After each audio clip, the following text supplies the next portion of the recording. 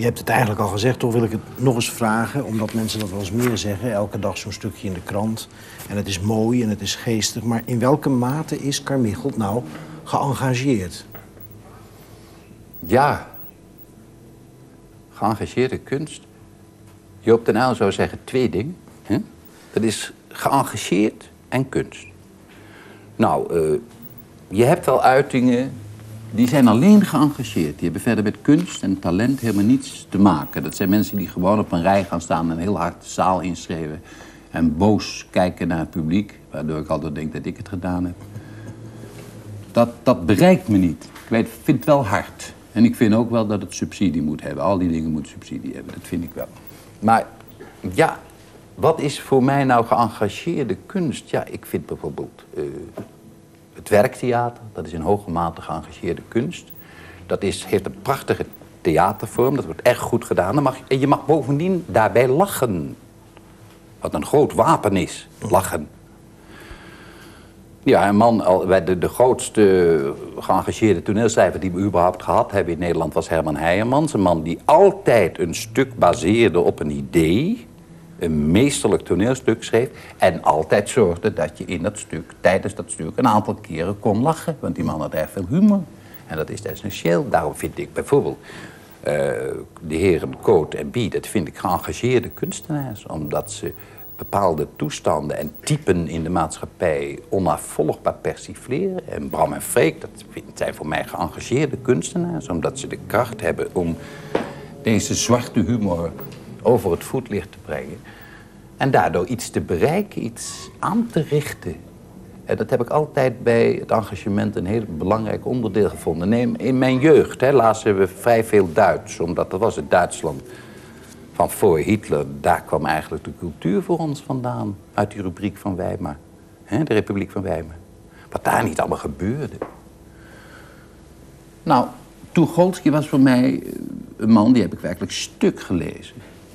Dat is een voorbeeld van een echte geëngageerde schrijver. Een man die altijd strijdbaar is geweest, maar die ook in zijn, in zijn felste politieke commentaren altijd die dodelijke ironie hè, gebruikt heeft als een wapen. Hè, en die zo, eh, al 50 jaar geleden zei: uh, Duitsland is een fenomeen.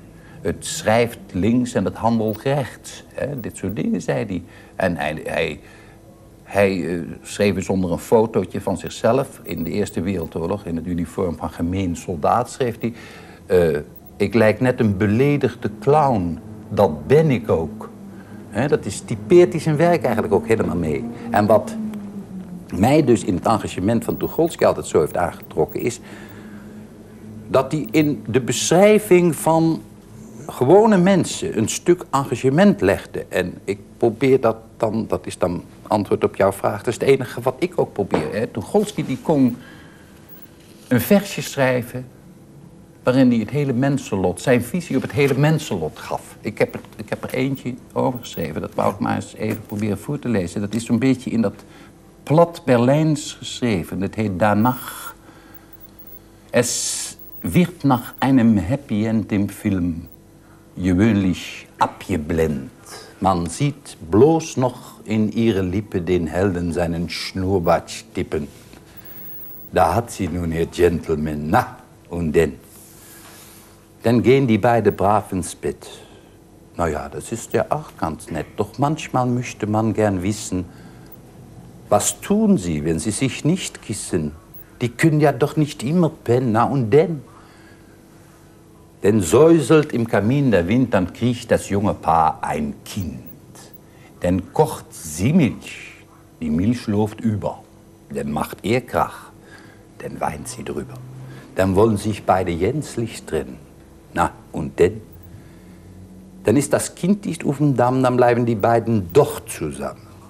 Sie quälen sich noch manche Jahre, er will noch was mit blonde Haare, vorn Doff und hinten Minoren. Na, und denn, dann sind sie alt. Der Sohn haut ab, der Olle macht nur nach, bald schlapp, vergessen Kuss und Schnurrbart sei da, Menschenkind, wie liegt das weit? Wenn der noch scharf auf Muttern war, das ist schon beinahe nicht mehr wahr.